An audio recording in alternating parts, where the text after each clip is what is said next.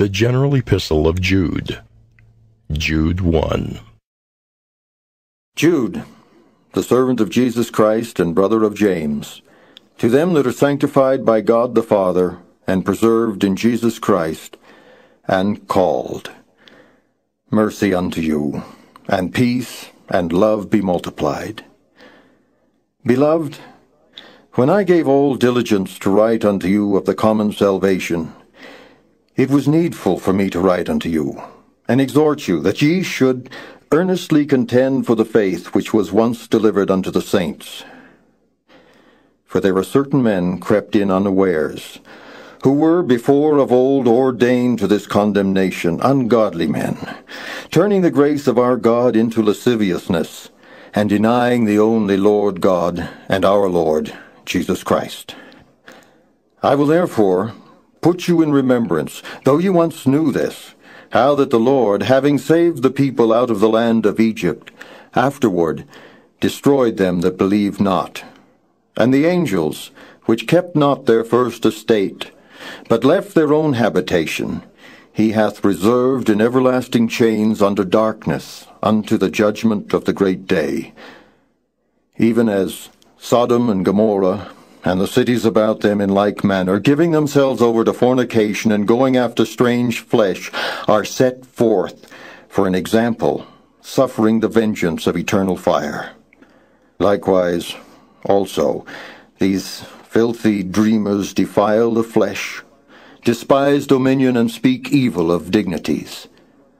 Yet Michael the archangel, when contending with the devil, he disputed about the body of Moses, durst not bring against him a railing accusation, but said, The Lord rebuke thee. But these speak evil of those things which they know not, but what they know naturally, as brute beasts, in those things they corrupt themselves. Woe unto them! For they have gone in the way of Cain, and ran greedily after the error of Balaam for reward, and perished in the gainsaying of Core. These are spots in your feasts of charity. When they feast with you, feeding themselves without fear, clouds they are without water, carried about of winds, trees whose fruit withereth without fruit, twice dead, plucked up by the roots raging waves of the sea, foaming out their own shame, wandering stars to whom is reserved the blackness of darkness forever.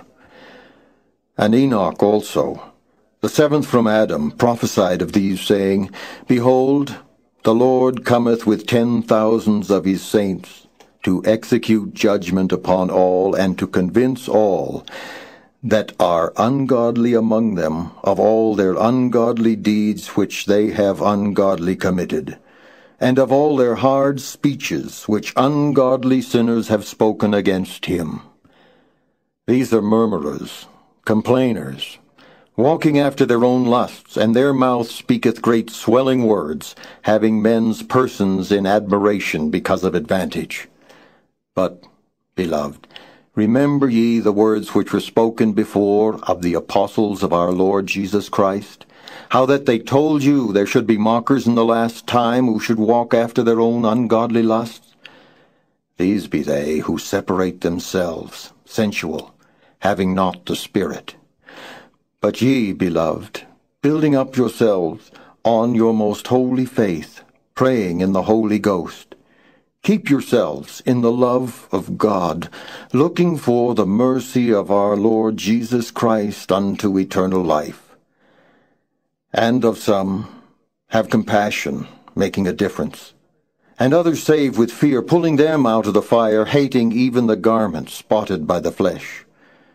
Now unto him that is able to keep you from falling, and to present you faultless before the presence of his glory with exceeding joy, to the only wise God, our Saviour, be glory and majesty, dominion and power, both now and ever.